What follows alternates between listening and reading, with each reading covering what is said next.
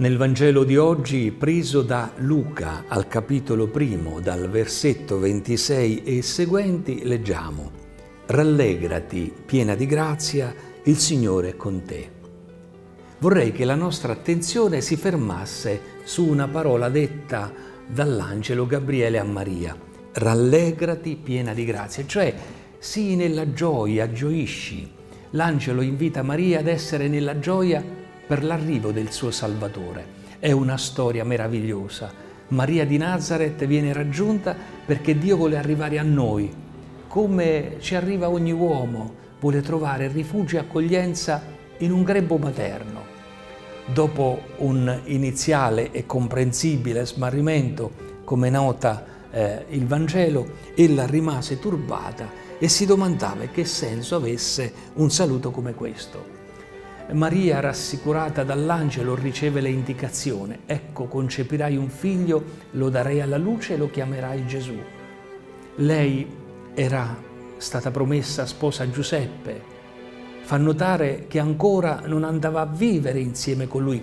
Com'è possibile? Non conosco uomo. Allora l'angelo le indica il percorso di Dio in suo favore lo Spirito Santo scenderà su di te e su di te stenderà la sua ombra la potenza dell'Altissimo. Colui che nascerà sarà dunque santo e chiamato figlio dell'Altissimo. Maria dice sì a Dio, diventa il grembo di Dio perché a Dio nulla è impossibile.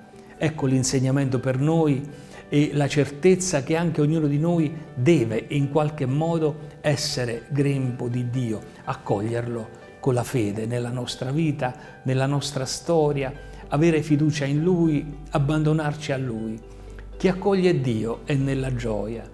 In questo tempo di preparazione al Natale, nello sfrenato consumismo, molti cercano la felicità nelle cose, ma non trovano la gioia. Trovano brandelli di felicità che danno facili illusioni e poi grandi delusioni. La gioia non viene dalle cose, è spirituale, viene dalla consapevolezza di sentirsi amati da Dio a tal punto che Egli si fa uomo. Questi giorni di preparazione al Natale, invece di dissiparli nelle distrazioni e nelle banalità, impieghiamoli nel ritrovare la gioia che nasce da un cuore sereno, aperto ad accogliere Dio e questo genererà l'impegno a lasciare cadere una goccia di gioia, di amore, una parola di luce, un atto di bontà. Ci accorgeremo di dare origine a un fiume di gioia e di bene che inonda e feconda il vivere quotidiano.